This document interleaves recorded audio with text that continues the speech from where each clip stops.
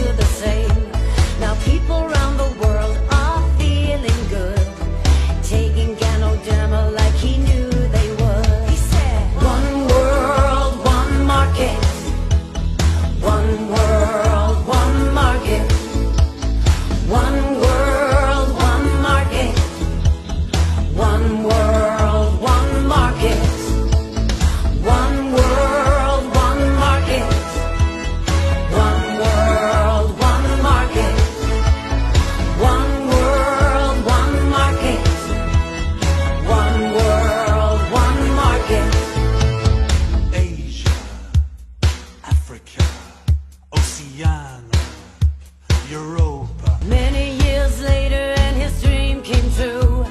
No one's laughing now. Respect.